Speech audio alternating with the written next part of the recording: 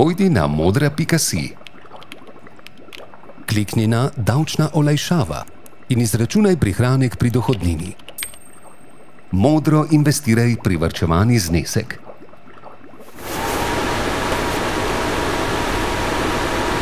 Resno? Z modro si vsakoletno povrnete do 1400 evrov dohodnine. Izračunajte svoj prihranek na modra.si in ga modro investirajte.